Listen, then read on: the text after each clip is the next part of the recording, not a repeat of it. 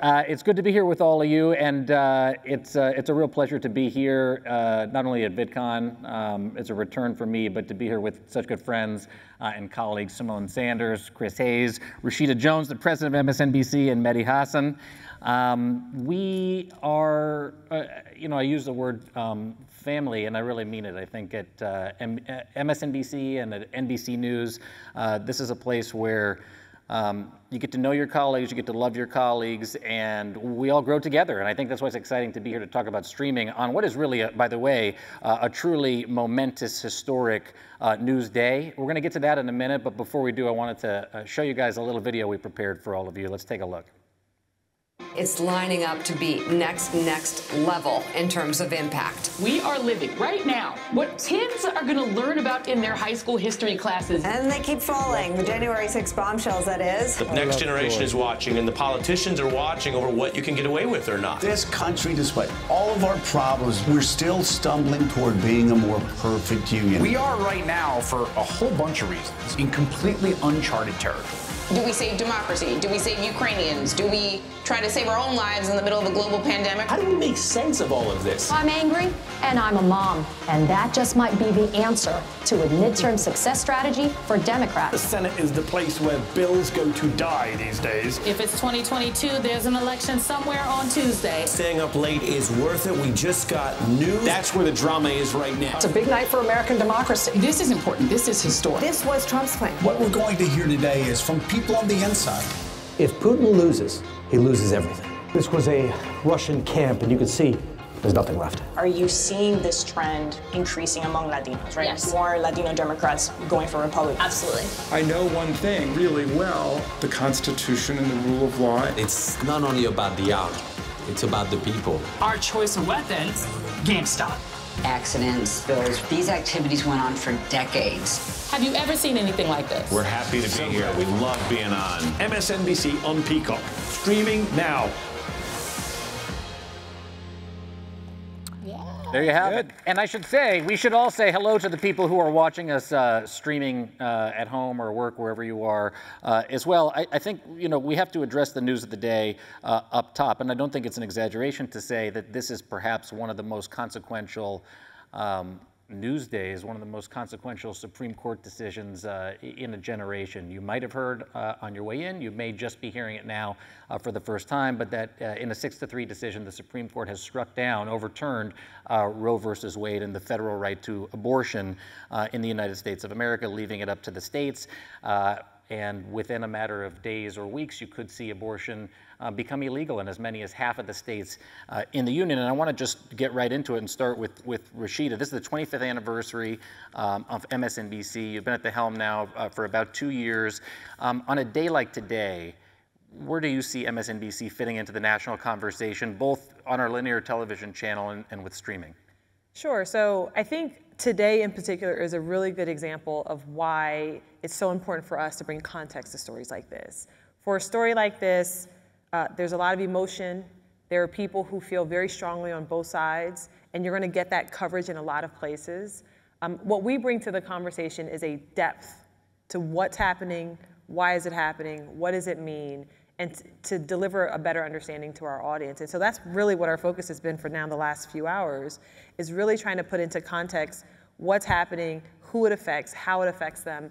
And, and to your point about both linear and streaming, our focus is not only bringing that depth to the audience, but bringing it to you wherever you are. So if you're watching on cable, if you're watching uh, on, on Peacock, if you're, if you're listening in the car, if, if you're following along on social media, our focus has really been how do we bring that content to you where you are in a way that provides the perspective that you need to understand what's happening. Chris Hayes was on the air, you were on the air the night that this uh, draft decision uh, leaked. This was many weeks ago now at this yeah. point. Um, to me, what that said to me is look, the importance of, first of all, let's talk about the decision, but also the importance of, of linear television and your broadcast. You do podcasts, you do live in person events. We'll talk about that in a minute. But, but that felt like a night where, where TV had not felt as important uh, as it did to me in a very long time. Yeah, I mean, I, I think um, there are moments the hardest thing to do well i think is live breaking news mm. it's it's very easy to do fine because the kinetic nature of the events drives people towards the television, and you can always just kind of book people and talk. The hard thing to do is like have at your fingertips the knowledge and the and the and the people that you can call upon and a production staff that knows what they're doing to like make sense of something in the moment. And that was one of those moments. In fact, on that night we had booked the last block of the show was going to be about Dobbs, about the court's wow. abortion jurisprudence. With no heads up that this was coming. We had no idea. And in yeah. fact, later. I was wondering how you got these guests. Like, we had to Irin Carmon on it because I had that morning in the editorial call said, I think people are sleeping mm. on Dobbs. I think they're going to do it, and I think it's we should just have this. So we had booked her, and in fact, later, later I saw a diagram that had been on floating around parts of the internet about the conspiracy theory of who had leaked it. And mm-hmm. part of the conspiracy theory that it had been a liberal who leaked it was that we had booked a guest that night in, in, in the slot to discuss it, like this was the smoking gun. But to your point, like, what I think is great about us sort of embracing all these different platforms that people are going to get that same impulse in a moment like this to want to hear people with knowledge and depth and context talk about what's happening is going to drive people to us and to other places on a bunch of different platforms. So you want to be present wherever people are at to be able to like have that conversation and also to kind of create some illumination in moments that feel very, very, you know, scary and disruptive. Symone, you are in a unique position to uh, not only approach this uh, now as a colleague of ours with a broadcast of her own, but as someone who was inside the White House uh, as they prepared for the eventuality of this moment uh, coming to pass. Talk to us about what do you think uh, is going on inside the White House today? The president's scheduled to speak any minute now about this decision. He may be speaking as, as we're sitting out here, um, but also about who and, and, and how they're trying to reach the American people in the context of us being here, you know, today at VidCon talking about streaming. So uh, the First Lady, First Lady Dr. Jill Biden was my first guest on my new show. And she said on the show that when the decision came, when the draft decision was leaked, she and the president were shocked. They were up in the residence, they got a call that said the draft decision was leaked, and they were absolutely shocked because they could not believe that this is what they were going to do. The president is someone who has been in elected office longer than I've been alive. Okay, I'm 32 years old. Joe Biden served in the Senate longer than that. And he is someone that has seen a lot of legislative fights, right? He's seen a lot of judicial fights, has been head of the Senate Judiciary Committee, and someone who I know uh, believed in the systems and the structure, believes in stare decisis, believes in precedent. Yep. And so for this to happen, this is something when the draft decision, when the draft came out, it was a shocker to everyone in the White House, the president, first lady, vice president as well. Um, and today, I just caught some comments from the president. And what he is saying is this all goes down to the states. There's very little that the White House can do. And this has been a recognition that they've had for a very long time. Even before the draft decision, there were conversations we had on the campaign trail um, about if Roe was overturned, what would a President Joe Biden do?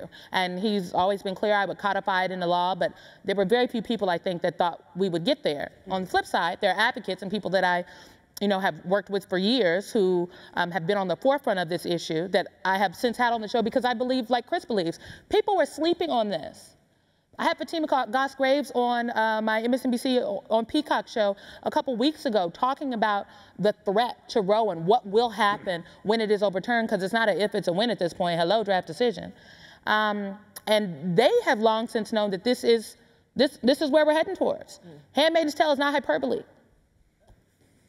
Um, Mehdi, let's get let's get you in here. This comes uh, a day after another Supreme Court decision. Uh, you know, today we hear um, that there's no federal right to abortion. Yesterday, there we hear that there's a federal right to conceal carry wherever you are, and a state like California uh, is not able to restrict that right. What do you make of the juxtaposition of what happened yesterday and what's happening today? So first off, I would say if Chris Hayes ever asked you to go to Vegas with him, go to Vegas. Second, I would say uh, there's that Chinese proverb or Chinese curse, which isn't Chinese, or a curse, which is may you live in interesting times, mm. right? And we live in some serious interesting times. I've only been at NBC since 2020, and the number of his times I've had to say historic on the air is a lot. And, and it's not hyperbole. We've seen a lot of historic things. Also, this is a week, Jacob, where The Reuters Institute put out a big study showing people are exhausted with the news. There's too much. They're being overwhelmed by the kind of negative news. And yet at the same time, everyone today is talking about Roe. Mm. Everyone's talking about impeachment hearings, insurrection hearings. Everyone's talking about these kind of midterms, inflation. There are a lot of big, big stories that are dominating the agenda. And I think Rashida put it best. We talk about any story, we've got to bring context. Mm-hmm. We've got to find the interconnectedness. So many of the big stories of our time are connected. So when we talk about abortion or we talk about the gun decision, that to me is not different to the democracy debate that my show and our network has been focused on for the last 18 months, two years because the gun decision and the abortion decision is from an institution where five of the six Supreme Court justices were appointed by presidents who lost a popular vote, two of them credibly accused of sexual misconduct, one of them sitting in a completely stolen seat. That is the context for this decision. They've done something hugely unpopular, overturned 50 years of precedent, and the institution itself is questionable in terms of legitimacy. You look at the poll out yesterday, lowest point of legitimacy ever. So all these things fold into the same big picture, and that's where I believe those of us on this stage, whether behind the camera, in front of the camera, are trying to join those dots, are trying to say to people, this is all the same story. Right. This is not, you know, we cannot just cover guns in isolation from everything else that's happening in the Senate. We cannot cover Roe in isolation from the fact that this court is a counter-majoritarian court doing hugely unpopular things. And, you know, people say, um, Symone said, the president says going to the states. We know the president is going to say vote harder. Mm. We know the Democrats are going to say let's pass a bill in the Congress. I was just telling Chris, you know, backstage, Congress can pass any bill it wants. This Supreme Court will shoot it down until you deal with the Supreme Court, you can't get anywhere. So for me on my show, I've t- I mean, we had Elizabeth Warren on when we launched in whenever it was, October 2020, feels like eons ago, talking about Supreme Court expansion, one of the few senators who talks about that stuff. It's been a big hobby horse of mine for years. We've got to talk about the Supreme Court, we've got to talk about the Supreme Court. And we're able to do that. We're able to do that with excellent reporters at the network who break stories on the court before anyone else.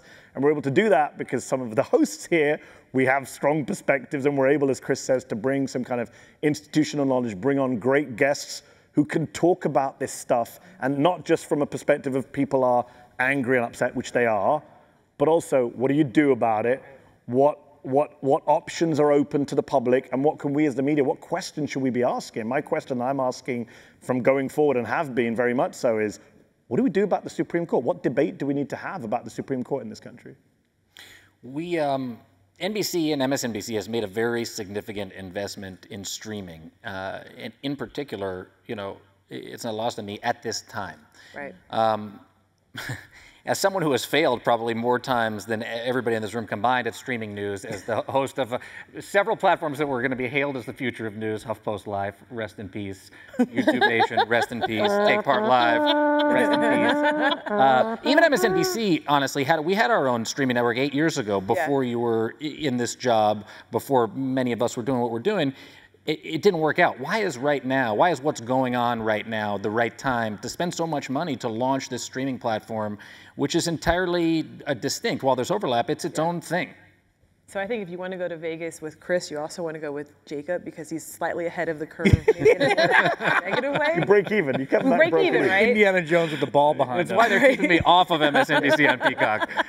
So really, our focus is um, the audiences are changing. We know many of you guys you know, I'm not going to assume you're paying 200 bucks a month for cable. Many of you are consuming content in places other than a linear channel.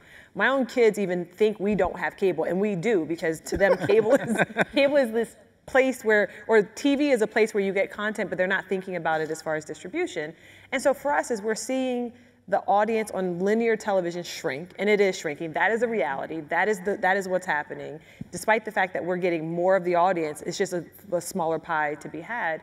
What we're looking at is let's go where people are navigating to. Let's take our content to places where they're already consuming and where, where there's growth and there's a runway and where there's a future. And so that's really what drove our focus in, in the streaming space.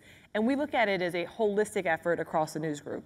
We are not, not just MSNBC investing, but as a news group, we're investing. So you've got hard news content with NBC News Now. If you want to find out what's happening with the SCOTUS decision, after this panel, not this second, you can go to NBC News Now, distributed on any platform, any, any streaming platform that you have, and that's where you get your hard news. If you want the depth and the perspective and understanding in the likes of Mehdi and Symone and Katie Phang and, and others, you go to MSNBC on Peacock. If you want to know what smart thing Chris Hayes said last night, if you want to know this morning or this afternoon, you go to MSNBC on Peacock.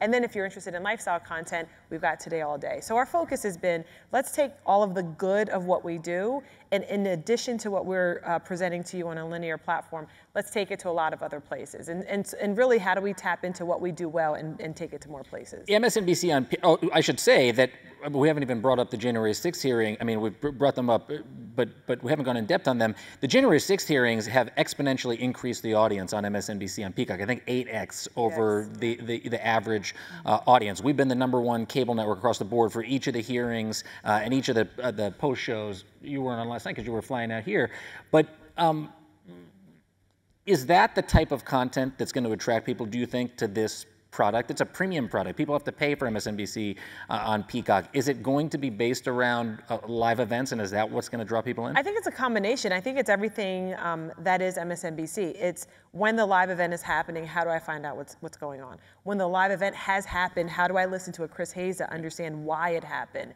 and and what does it mean for me?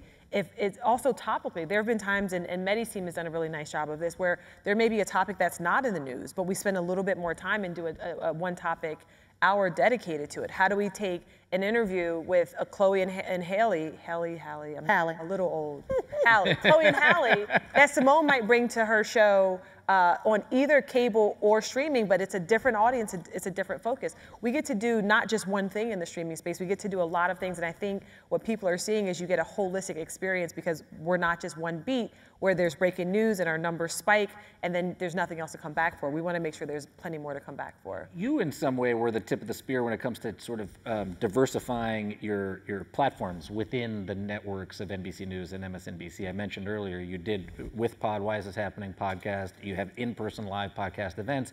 I think you guys have a little bit of an announcement today about you might be resuming your uh, live studio audience shows that you've been doing. Are you? You just oh, want to be yay. everywhere? Or, first of all, confirm, is that yeah. true? Yeah, so we're gonna we're gonna bring those back. Yeah. Um, the last one we did actually was here in Los Angeles on a studio lot, uh, the day before the California primary in 2020.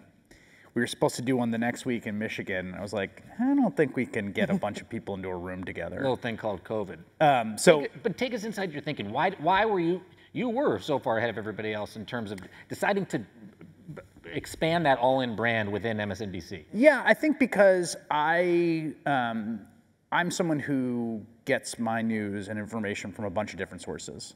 So I'm a big podcast listener. So I want to like I love podcasts and I want to make podcasts. I love live events, you know, and that's the kind of thing I'm into. So I wanted to do that. I love like being part of the sort of kinetic feeling with an audience.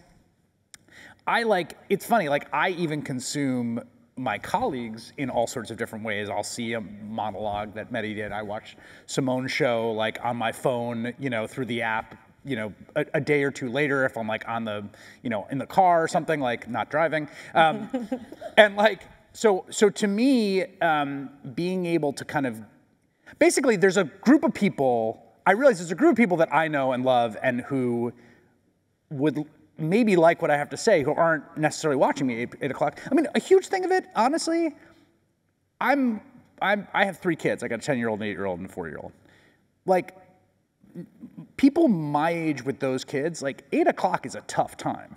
Like at that age, you're not, you're doing bedtime, you're like, mate, like, it's tough to hit that. So I wanna be accessible and available to people, you know, in other ways. So friends of mine I know who can never watch the show live, right? They'll watch it the next day, or maybe they don't even watch the show, but they do listen to the podcast, mm-hmm. right?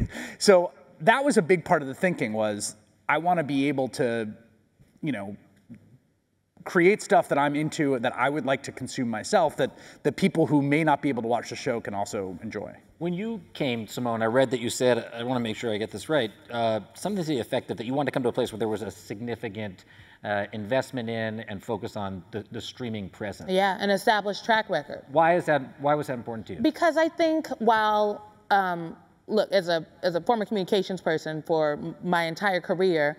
The television was important, right? What is happening on TV matters. I have picked up the phone and, and called everybody on this panel at one point in time, like, what was that? so it matters. But streaming is not just the future, it is the right now. I am 32 years old and I can tell you when I wake up in the morning, the first thing I do is not turning on the television. Right. I check my Twitter, I check my Instagram, I check my email. Um, when I listen to the news, the first time might be when I get in the car to turn on Sirius XM. Right. And then that's where I am right, hearing right, it. right. So I wanted to go to a place where there was an established record in, in doing that, where we could do some evergreen things. I interviewed Chloe and Halle Bailey, the you know the pop superstars, uh, last week, and we talked about they had just it was Juneteenth, so we talked about Juneteenth. They were at the vice president's house, but they also just performed. Chloe dropped a song.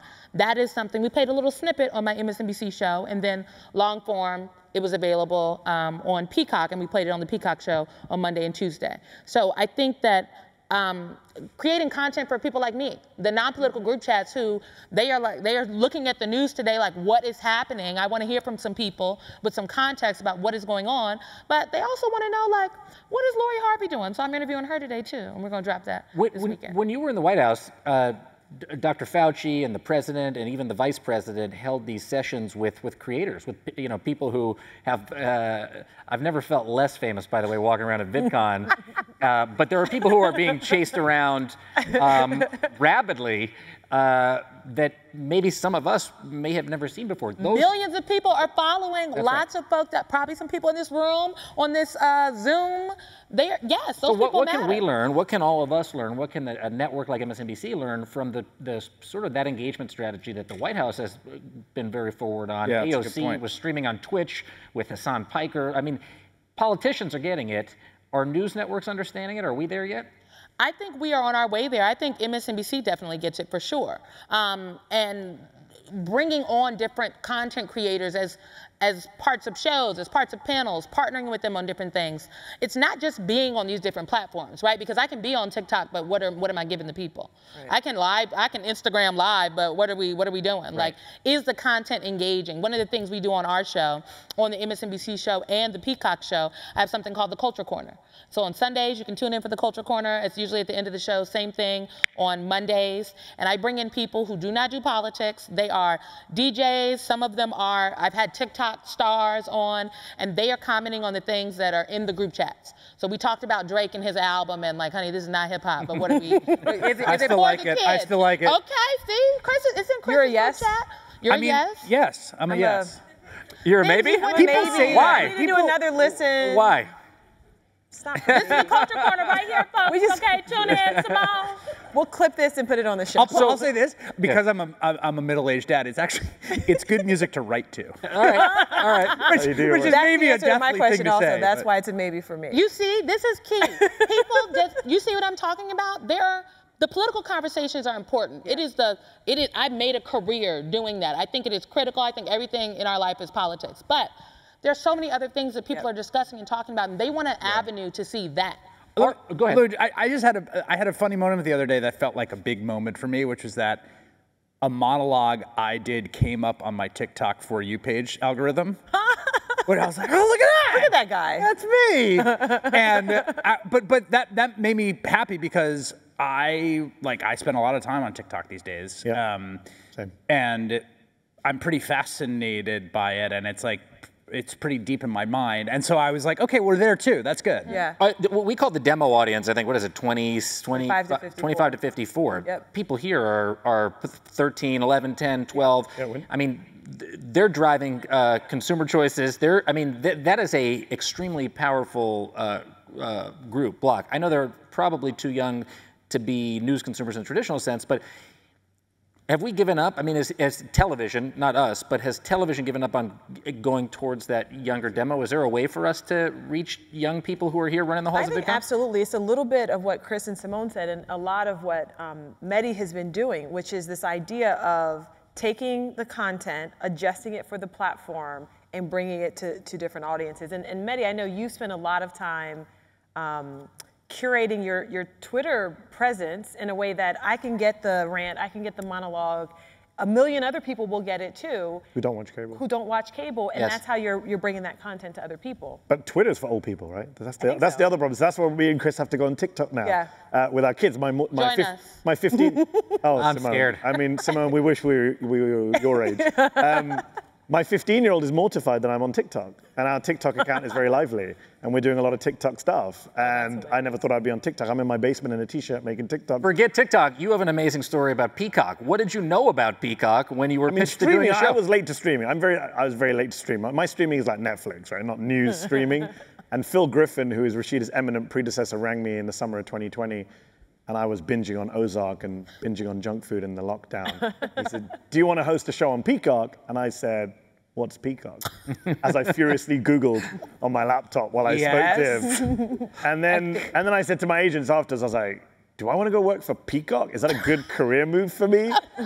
And in hindsight, it's been a great career move for me. I'm a man who regrets a lot. I- I went to Disneyland yesterday. I regretted a lot of lines. I regretted a lot of lines I stood with my kids. I can honestly say I don't have any regrets about Peacock or NBC because it has given me these platforms Right. and the freedom to innovate. You know, people talk about editorial freedom, which we do have, and I love it.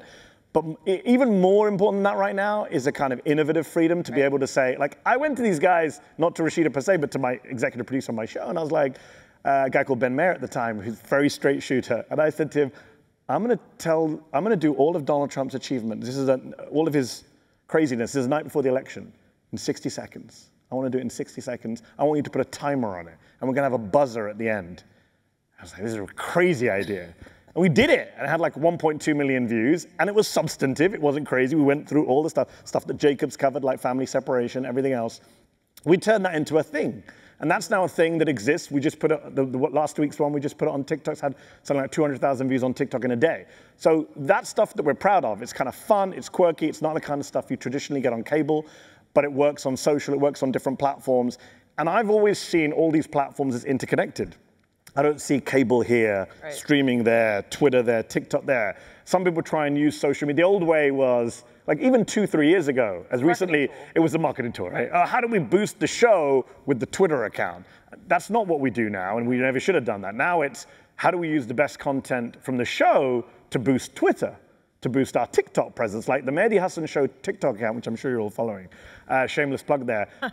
we have five times, I checked this because I thought I'll have a stat for you all. We have five times the followers that the official Fox News TikTok account has because Fox doesn't care about TikTok. Fair enough, their audience is like 95.